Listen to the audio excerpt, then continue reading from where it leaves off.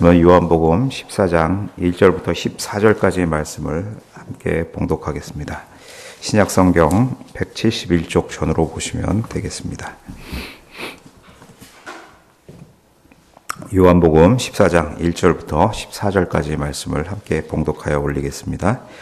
너희는 마음에 근심하지 말라 하나님을 믿으니 또 나를 믿으라 내 아버지 집에 거할 곳이 많도다 그렇지 않으면 너희에게 일렀으리라.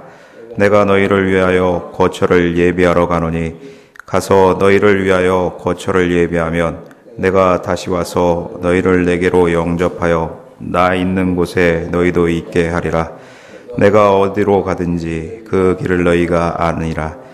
도마가 이르되 주여 주께서 어디로 가시는지 우리가 알지 못하거늘 그 길을 어찌 알겠사옵나이까 예수께서 이르시되 내가 곧 길이요 진리요 생명이니 나로 말미암지 않고는 아버지께로 올 자가 없느니라.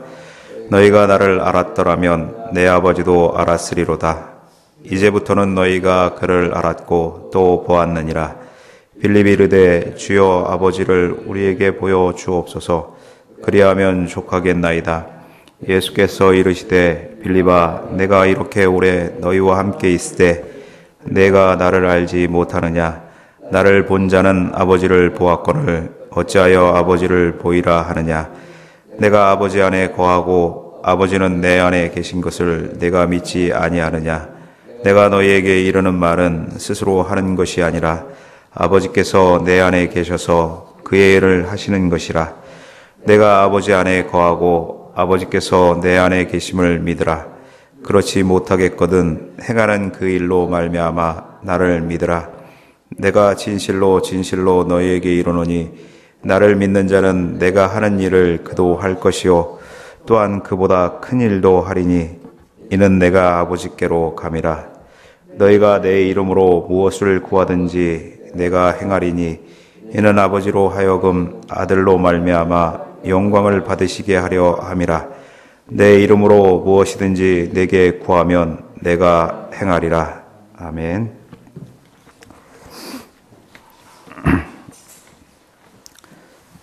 이 시간에 하나님께서 여기 나오신 분들께 풍성한 은혜를 부어주시기를 소원합니다.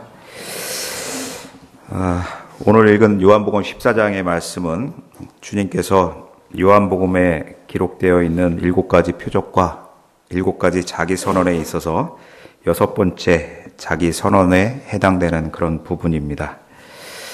일단 잠시 저희가 요한복음을 통하여서 주님께서 이 요한복음을 기록하게 하신 목적이 무엇인지를 다시 한번 잠깐 생각해 보겠습니다. 요한복음 20장 31절의 말씀과 같이 하나님 예수님이 하나님의 아들이시고 그 하나님의 아들을 믿음으로 그 이름을 힘입어 우리가 생명을 얻게 하려 하신 것이다라는 것이 요한복음을 기록하신 그런 목적입니다. 그런 목적 중에서 저희에게 표적으로 보여주시는 것이 일곱 가지가 있고 그리고 주님께서 스스로 내가 이러이러한 사람이다. 이러이러한 자다라고 이렇게 표현하시는 일곱 가지의 자기 선언이 있습니다. 일곱 가지 표적은 저희가 이제 요한복음을 시작하면서, 시작하면서 2장에서 보셨던 것처럼 가나의 혼인잔치에서 물이 포도주로 변하는 그런 표적부터 시작을 하죠. 그 다음에 로마 관리의 그 왕의 신하가 되는 자의 아들을 고쳐주시는 일이 4장에서 나오고 있고요. 그 다음에 베데스다 연못가에 38년 된 병자를 고쳐주시는 표적이 5장에 나옵니다. 그리고 우리가 잘 알고 있듯이 오병이어의 기적으로 5천 명을 먹이신 것이 6장에 등장하고요. 그 다음에 물 위를 걸으시는 일이 6장에 또 나옵니다. 그러면서 그러면서 소경된 자를 고쳐주시는 내용이 9장에 그리고 죽은 나사로를 살리시는 일이 11장에 등장하는 것입니다. 이 일곱 개의 표적이 아, 주님이 하나님의 아들로 이 땅에 오셨다라는 것을 증명한다. 그 그런 내용이고 또 그런 와중에 이제 주님께서는 일곱 번의 자기 선언을 통해서 통하셔서 어, 어, 어떤 분이신지를 스스로 드러내는 것이 나타나 있습니다. 그것이 이제 일곱 번의 자기 선언이라 그렇게 볼 수 있습니다. 그 에고 에이미 뭐 이렇게 해가지고 나는 뭐뭇이다 이렇게 이제 표현은 되는 어, 표현되는 것이죠. 6장에 보시면 아, 내가 생명의 떡이다 이렇게 나오고 있고요. 그 다음에 9장 8장과 9장에 내가 세상의 빛이다 이렇게 나오는 말씀이 있습니다. 그리고 10장에 나오는 말씀이 나는 양의 문이다 이렇게 나와 있고 11장에 나는 부활이요 생명이다. 그리고 14장에 이제 아, 10장에 나는 선한 목자라도 같이 나오고 있고요. 나는 양의 문이다. 나는 선한 목자라. 이렇게 나와 있고, 그 다음에 11장에 나는 부활이요 생명이다. 그 다음에 14장에 내가 곧 길이요 진리요 생명이다. 그리고 15장에 음, 이제 내가 참 포도나무요 너희는 가지다. 이렇게 일곱 가지의 그 자기 선언에 나오고 있고요. 저희가 오늘 읽은 14장은 이 중에서 여섯 번째 예수님이 자기 선언에 대하여 내가 곧 길이요 진리요 생명이다 이렇게 말씀하시는 것이고요. 이 14장의 내용은 어, 주님께서 설교하신 세 가지 큰 설교 중에 3대 설교 중에서 다락방 설교에 해당되는 14장부터 16장까지 해당되는 그런 내용의 시작이다 이렇게 볼 수가 있습니다. 오늘 말씀을 통하여 이렇게 보시면 어, 우리가 근심하게 되는 때가 언제인지 한번 생각해 보시고 그 근심이 될 때 우리는 어떻게 극복하시는지를 한번 생각해 보셔야 될 것이다 라는 생각이 듭니다. 오늘 말씀에 등장하는 제자들, 제자들의 근심이 어떤 것인지 오늘 볼 수가 있습니다. 제자들의 삶의 모든 근거이셨던, 근거가 되셨던 예수님께서 제자들을 두고, 제자들을 두고 이제 떠나가시겠다. 이렇게 말씀하심으로 해서 제자들의 이제 눈앞은 캄캄해지고 근심에, 그로 인해서 근심에 빠지는 그런 모습을 보게 되는 것입니다. 그때 그때 어떻게 반응하여야 하는지 를 또한 우리 요한복음 전체의 내용을 지금 살펴보았듯이 그리고 요한복음이 우리에게 전달해 주려고 하는 그런 부분을 통하여서 어떻게 반응하여야 되는지를 생각하여야 된다라는 것이죠. 요한복음은 좀 전에도 말씀드렸던 것처럼 예수님이 하나님의 아들이시오 그 이름을 힘입어 그를 믿는 자, 그 이름을 힘입는 자에게 생명을 주신다. 이런 것을 강조하고 있는 것입니다. 비단 이것이 제자들에게만 그 내용을 믿으라 이렇게 말씀하시는 것이 아니라 살아계신 하나님을 믿는 현재 우리에게도 예수님의 살아계신 아, 예수님이 하나님의 아들이시오 그 이름을 힘입어서 생명을 얻은 자인 우리에게도 해당된다라는 것을 기억하셔야 하는 것입니다. 과거에 불과한 얘기가 아니라 지금도 살아계셔서 우리와 함께 하시는 그분께서 우리에게 전달해 주시는 그런 말씀이다라는 것이죠. 1절에 1절에 보시면 음, 이렇게 말씀하고 있습니다. 너희는 마음에 근심하지 말라. 하나님을 믿으니 또 나를 믿으라. 이렇게 말씀하십니다. 어, 제자들이 이렇게 근심에 빠지게 된 이유는 13장에서도 저희가 어제 읽었듯이 가론 유다의 배신에 대하여 말씀하시고 그 다음에 베드로의 부인에 대하여서도 예언하시고 그리고 주님이 제자들을 두고 떠나가실 것에 대하여 이렇게 말씀하심으로 인하여서 제자들은 근심과 두려움에 빠져 있는 것이죠. 그에 대하여 주님께서는 1절의 말씀을 통하여 근심하지 말라. 하나님을 믿으니 또 나를 믿으라. 이렇게 말씀해 주시고 있는 것입니다. 그러면서 2절에 나오는 것처럼 내 아버지 집에 거할 것이 많도다. 그렇지 않으면 너에게 일렀으리라. 내가 너희를 위하여 거처를 예비하러 가는 것이다. 이렇게 말씀하시고 있죠. 그러면서 가서 너희를 위하여 거처를 예비하면 내가 다시 와서 너희를 내게로 영접하여 나 있는 곳에 너희도 있게 하리라. 이렇게 말씀하시고 있는 것입니다. 그냥 떠나가시는 것이 아니라 어떤 목적이 있어서 떠나가신다는 것이죠. 그것이 무엇이냐면 거처를 마련하시겠다라는 것이죠. 그리고 거기서 마련한 것으로 끝나는 것이 아니라 다시 오셔서 우리를 영접해서 데려가겠다라는 말로 위로의 말씀을 주시고 있는 것입니다.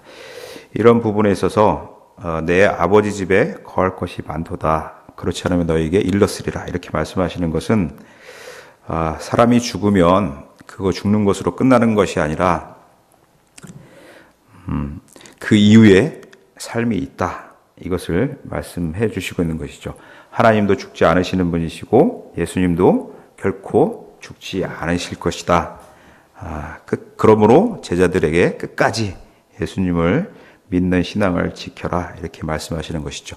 그 거할 곳이라는 것은 어, 장소적인 음, 그런 부분으로 음, 장소적인 것과도 관련이 있죠. 어떤 공간을 얘기하는 것입니다. 영어 성경에 보면 맨션으로 이렇게 되어 있는 어떤 초화의 집을 표현하는 것들보다는 어떠한 공간을 얘기하는 장소적 관련 장소적인 개념이다 이렇게 보시는 것이 훨씬 나을 것이고요. 그런 부분에 또한 그 장소적인 관련이 있는 것과 아울러서 하나님과의 인격적인 관계에 보다 더 의미가 더 밀착되어 있다 이렇게 보시는 것이 좋을 것이다라는 생각이 듭니다. 거처라는 것은 하늘에 있는 성전, 그래서 그 성전의 실체이신 예수 그리스도, 그 실체 되신 예수 그리스도를 모시고 있는 교회를 이렇게 말하는 것이다 이렇게 보시면 되고요. 주님의 그 대속의 은혜를 통하여서 어, 거기에 하나님과의 관계 속에서 채워야 되는 어떠한 인격적인 관계를 또한 말씀하시는 것이다. 이렇게 볼 수가 있습니다. 이 처소를 마련하러 가신다라는 것은 어, 이런 의미가 있는 것이죠. 주님의 대속의 죽음을 비유로 말씀하시고 있다라는 것을 어, 이렇게 보여주고 있는 것이다 이렇게 볼 수가 있습니다. 그래서 주님께서 이렇게 처소를 마련하러 가시는 이유가 무엇인가 하면 우리를 천국 자녀로 삼기 위한 그런 목적이 있다라는 것이죠. 아, 하나님과의 관계가 깨어진 그런 상태에서 우리를 천국 자녀로 삼기 위하여 하나님의 허락을 받기 위해서는 죄 없는 피가 아, 희생되어야 하고 죄값을 치러야 되는 것이죠. 그렇기 때문에 예수님께서는 그 피를 가지고 가셔서 처소를 마련하시기 위하여 가시는 것이다 라는 것입니다. 우리는 아, 하나님의 나라에 들어갈 자격이 없는 자들이죠. 따라서 우리가 그 나라에 들어갈 수 있도록 준비하시기 위해서 아, 주님께서 십자가에 못 박혀 죽으시고 부활하심으로 천국의 문에 천국의 문을 활짝 열어 주시게 되는 그런 것이다라는 것이죠. 즉 주님께서는 우리의 구원을 성취하시기 위하여 어, 가신 처소를 마련하기 위하여 가시는 것이다라는 것입니다. 이 처소로하고 이렇게 사용하는 이유는 음, 쉽게 그냥 내가 구원을 이루기 위하여 이렇게 간다 이렇게 이렇게 표현하지 않으시고 처소라고 처소를 마련하여 간다 이렇게 말씀하시는 것은 위에서도 말씀드렸지만 실제 천국은 어떠한 공간 개념의 장수적인 개념이 있는 것이고 그 안에 주님과의 인격적인 관계 속에서 하나님의 능력과 은혜로 이렇게 채워야 하는 그런 부분이 있기 때문인 것을 이렇게 표현하고 있다 이렇게 볼 수가 있습니다. 이렇게 이제 주님께서는 처소에 대하여 말씀하시고 그 이후에 처소에 가는 길과 방법이 무엇인지에 대하여 이렇게 말씀하십니다. 주님께서는 제자들에게 사절에 나오는 것처럼 내가 어디로 가는지 그 길을 너희가 아느니라 이렇게 말씀하는데 5절에 도마가 말하는 것을 통하여서 이렇게 볼 수, 도마를 통하여서 이렇게 보게 되는 것이죠. 도마가 이르되 주여 주께서 어디로 가시는지 우리가 알지 못하거늘 그 길을 어찌 알겠사옵나이까 이렇게 말을 하는 것을 볼 수가 있습니다.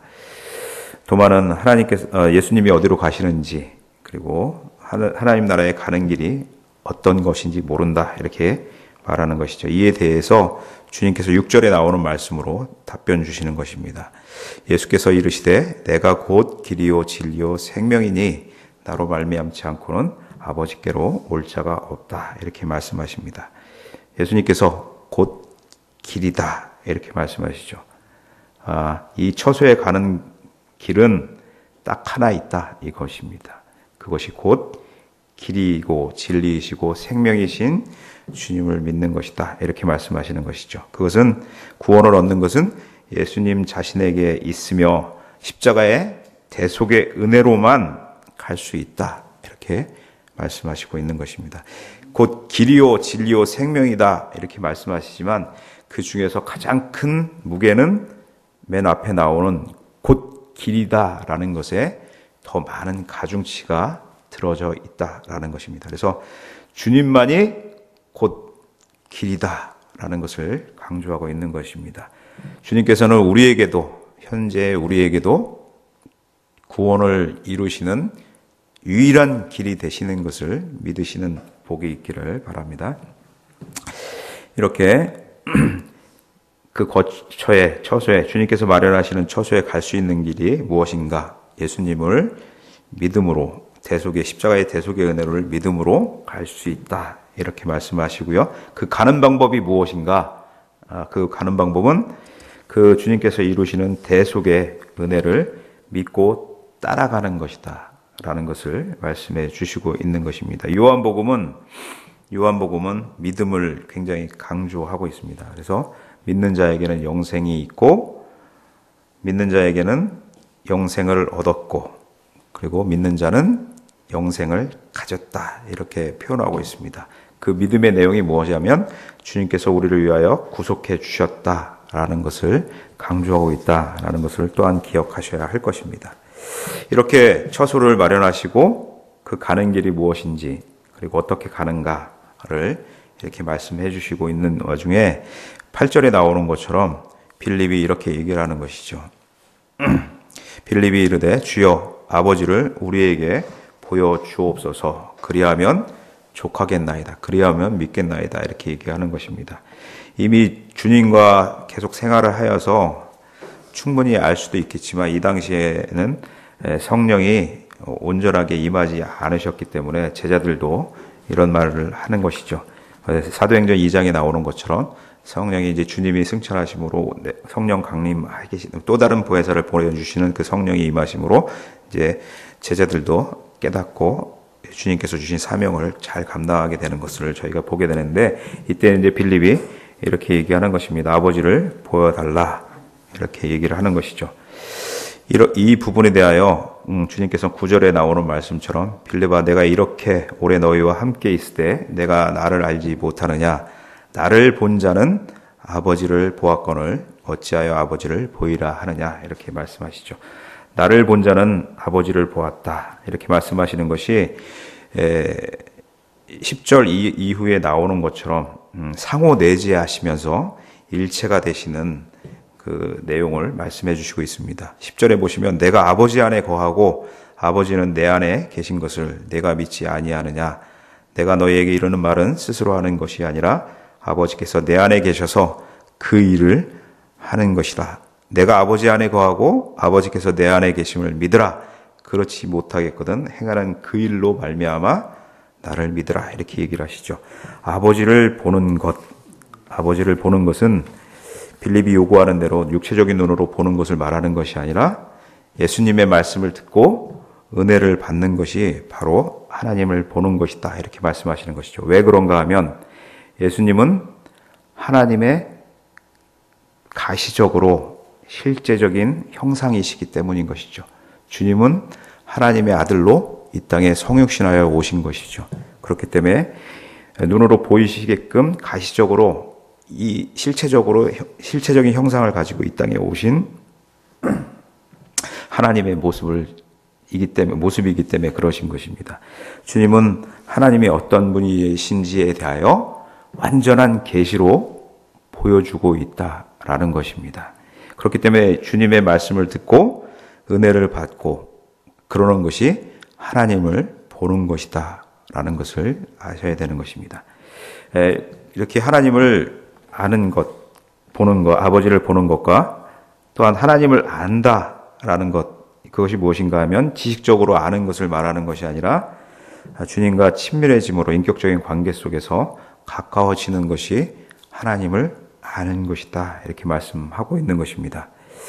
예수님께서는 하나님을 보는 것, 아는 것이 어떤 것인지를 분명히 말씀해 주시고 있습니다. 우리가 하나님을 본다라는 것은 예수님을 통하여 하나님의 능력을 체험하고 그 능력을 체험함으로 우리 마음에 믿음이 생기는 것이다. 라는 것이죠. 아, 제자들은 예수님을 통하여서 가장 생생한 하나님의 능력과 신성을 체험했습니다. 그 이유는 좀 전에 말씀드렸던 것처럼 하나님이 어떤 분이신지에 대하여 완전한 계시로 주어지신 예수님 안에 있는 성품이나 능력을 보았기 때문인 것이죠. 예수님 안에 있는 성품이나 능력은 하나님 아버지와 동등하시게 같은 것이기 때문인 것을 저희가 알 수 있습니다. 하나님 아버지의 능력은 딴 사람들을 통하여 나오는 것이 아니고 오직 예수님만을 통해서만 나타나게 되는 것이다. 라는 것이죠. 딴 데서 하나님의 능력이 나타났다. 이렇게 얘기하는 것은 있을 수 없는 것이고, 가짜인 것을 저희가 볼 수가 있는 것입니다. 하나님 아버지를 보는 것, 하나님을 아는 것은 예수님을 통하여서만 가능하다라는 것을 기억하셔야 할 것입니다. 그렇기 때문에 그분을 믿는 것이 곧 하나님을 믿는 것이고 하나님을 아는 것이다. 라는 것을 11절에서 말씀하고 있는 것입니다. 이렇게 길이요 진리요 생명이시고 하나님을 보여주시는 예수님을 믿음으로 해서 우리가 하나님과 예수님과 나와의 관계가 어떻게 되는지를 12절에서 말씀해 주시고 있는 것이죠. 내가 진실로 너희에게 어, 진실로 진실로 너희에게 이르느니 나를 믿는 자는 내가 하는 일을 그도 할 것이요 또한 그보다 큰 일도 하리니 이런 내가 아버지께로 감이라.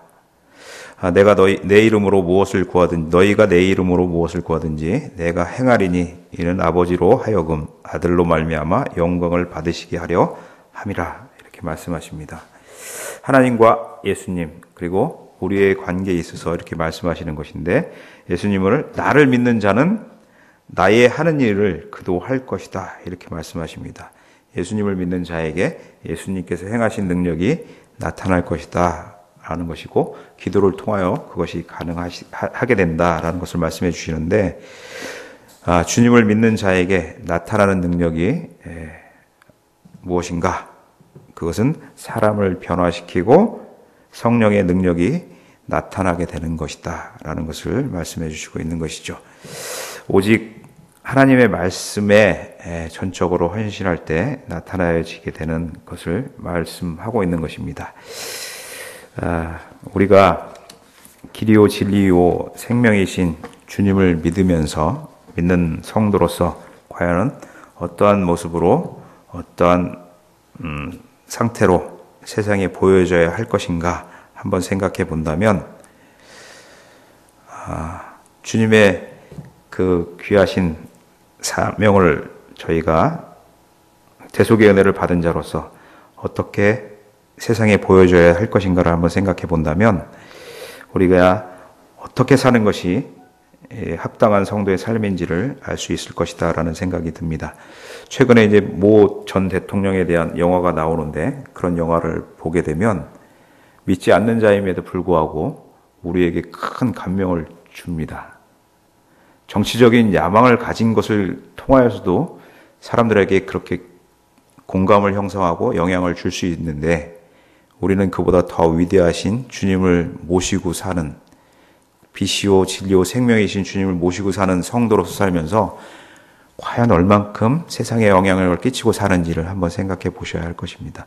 얼마나 성도로 산다는 삶의 모습이 밋밋한가, 아, 구분되지 않는 삶인가를 생각해 보게 되면 안타까움이 있게 되는 것입니다. 오늘 말씀을 통하여서 주님을 믿는 자는 주님께서 행하신 일을 행하는 자다라는 것을 말씀하시죠. 우리는 정말 주님의 진리를 담고 사는 자로서 그 대속의 은혜를 받은 자로서 아, 세상적인 어떠한 욕망과 야망을 가진 사람보다 더 세상에 큰 영향력을 미치며 살아야 되는 자들인 것을 기억하셔야 되는데 왜 세상이 성도들이 많음에도 불구하고 이렇게 변화되지 않는 것을 그 이유가 어디 있는지 한번 생각해 보셔야 될 것이다 라는 생각이 드는 것입니다. 그 모습 속에는 아, 주님을 사랑한다 하지만 거기에는 주님에 대한 전적인 헌신이 보이지 않는 것이고 그런 것 때문에 세상 사람들은 믿는 자나 믿지 않는 자나 별반 차이가 없네 라고 생각하지 않는가라는 생각하게 되는 것입니다. 그러나 분명한 것은 우리에게는 빛이요 진리요 생명이신 주님을 섬기고 있으며 어떻게 이 땅에서 나타나야 져야 되는지 한번 고민하는 그런 시간이 되었으면 좋겠습니다. 그래서 주님의 영광이 잘 드러나고 정말 구원의 길이 유일하신 길이신 주님을 따르는 자로서 앞으로의 삶이 어떻게 드러나야 져야 되는지를 고민하는 그런 시간이 되었으면 좋겠습니다. 그래서 하나님께서 온전한 영광을 받으시는 그런 귀한 성도의 삶으로 살아가시기를 기원합니다. 기도드리겠습니다.